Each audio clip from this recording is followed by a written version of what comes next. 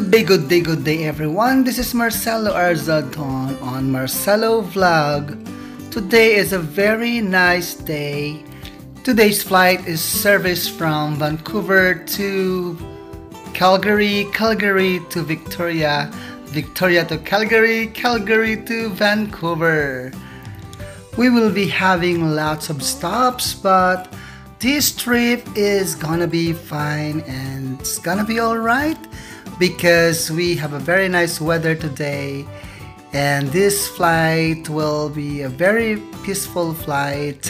And yes we will continue to give our best service to our passengers so that we will give them the best smile ever until they reach their destinations. So bye for now guys. Thank you and god bless